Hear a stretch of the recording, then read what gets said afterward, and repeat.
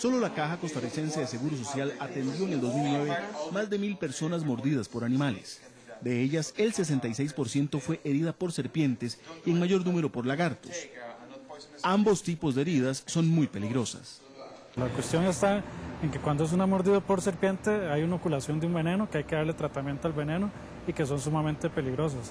En el otro tipo de, este, de mordedura, cuando no se trata de una cuestión de, de inoculación de venenos, el peligro siempre son las infecciones.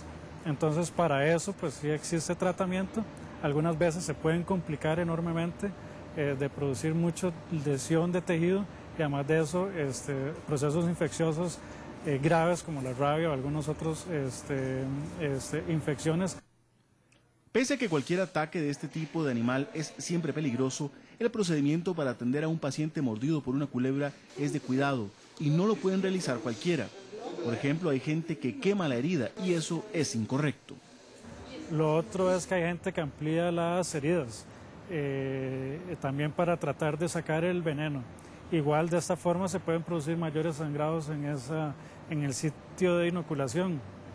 Y otra de las cosas que se hace también pues es tratar de succionar el veneno del sitio de la inoculación.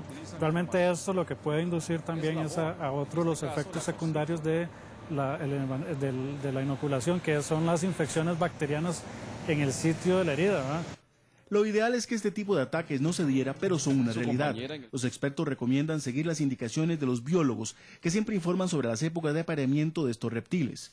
En esos días es mejor no correr riesgos, ya que acercarse mucho le puede costar la vida.